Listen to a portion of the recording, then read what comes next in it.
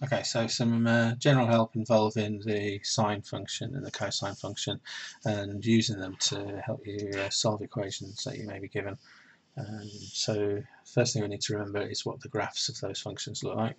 So basically we recognise the general pattern that sine and cosine curves um, go from 1 to minus 1 and the special points we need to remember all the time are 90 degrees, 180 degrees, 270 degrees, 360 degrees and the corresponding negative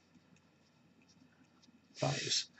Um, so the sine curve uh, starts at uh, 0, um, peaks at 1, comes back down, um, bottoms out at minus 1 and then comes back. So the general sine curve, we need to remember the key points and then it just keeps repeating itself.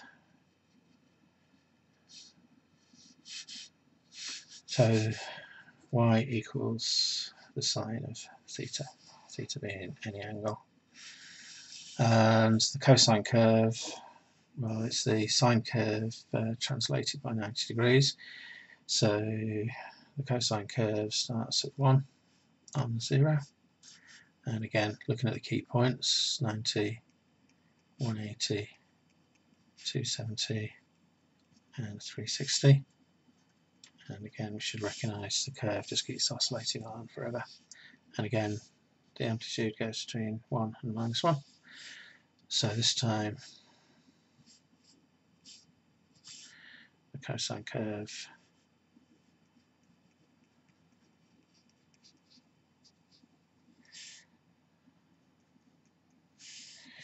Okay, so the cosine curve being the sine curve translated over.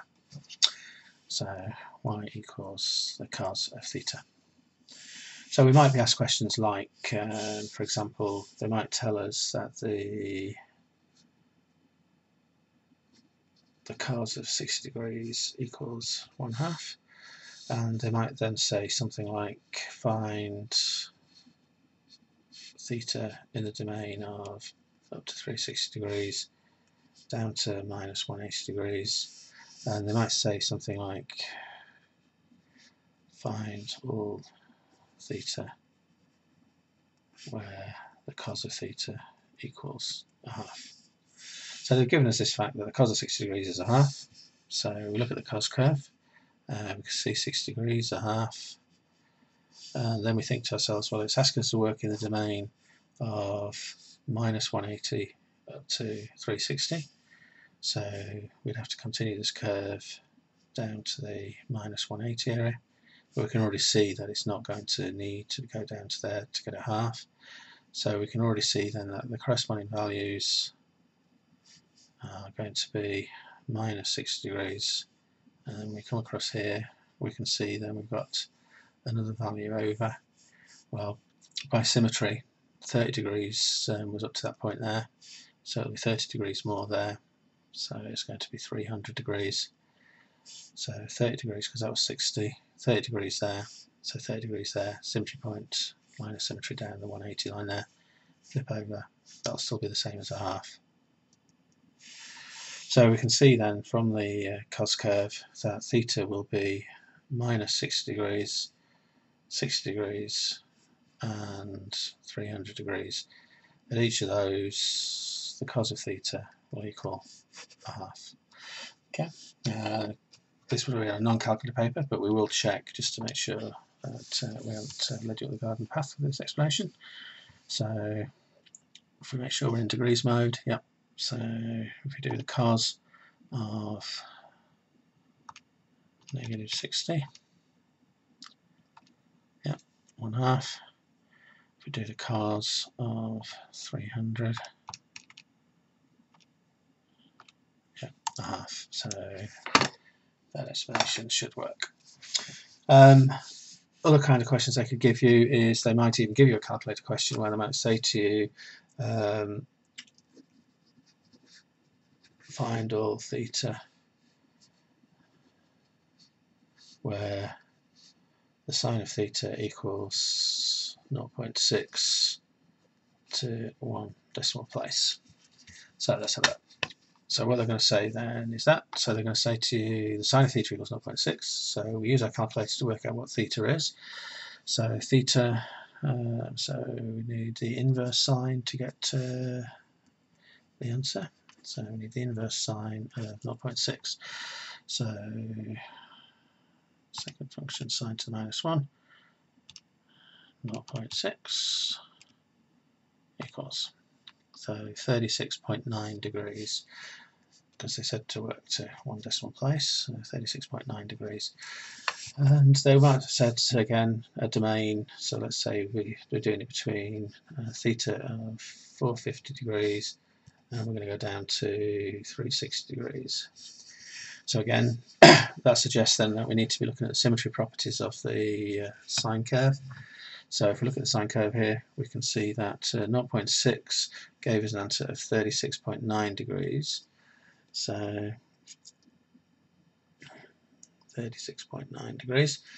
So if we're going down to minus 360, so let's try and get the sine curve we're going all the way to 450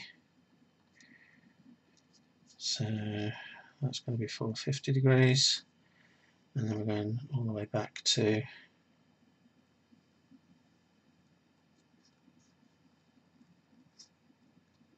minus 360 so again key points. So peak at 90 trough at 270 cut point at 180 cut point at 360 and that's 450 so every 90 degrees. So 90 180 270 negative and then negative 360 so that was negative 90 negative 180 we only need a sketch it doesn't have to be perfect just to give us an idea of what's going on. So we found from our calculator that the sine uh, minus 1 is 0.6 36.9 so we're recognizing that that's going to be there so 36.9 and therefore other values that work for this then. So we come across our curve and we can see then that we've got to use the symmetry properties to find that we're going to have another point there so that was 36.9 beyond a zero. So that's going to be 36.9 so that's going to suggest to me that the 360 plus 36.9 makes 396.9 degrees. So that should be one answer. Um, symmetry property here, then we've got a line of symmetry here, so 36.9 take away from the 180.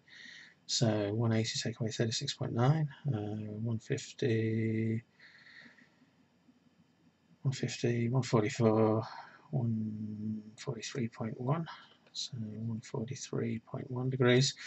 And then again, we can see from here that if we uh, come over to this side, then that's going to be minus 216.9 degrees and then we're going to be adding 36.9 to 36, negative 360 so it's a calculated question so 360 negative plus 36.9 so negative 323.1 degrees Okay, so using symmetry properties has allowed us to find all the answers in the domain of 360. So I'm suggesting that theta then will be, well, the 36.9 we found. Uh, coming from this side, it also includes negative 323.1 degrees, uh, negative 216.9 degrees, uh, 143.1 degrees, and 396.9 degrees. Okay, so we should obviously check, uh, calculate question. So the sine of 323.1 negative is going to be uh, 0.6, that's fine. Doesn't matter that it's spit out, remember it's to one decimal place, it's accuracy, so it won't be exactly 0.6. Um, so then we've got the sine of bracket uh, 216.9 negative. Okay, again 0.6, no problem. And then we've got the sine of 143.1 degrees 0.6. and then we've got the sine of 396.9 degrees equals 1.6. Okay, so from the symmetry properties then we can see how we could work this through. by sketching the sine curve, putting on the key points at 90, 182, 70 and so forth, and looking for the symmetry points of how it works. That's one way of doing this. Uh, there are some pure rules uh, where you can say that the sine curve is a translation, uh, sorry, it's got a period of 360 and uh, therefore you can start working with 360 degrees plus or minus and various other things but I find the symmetry uh, approach um, seems to work quite nice for getting the answers reasonably quickly.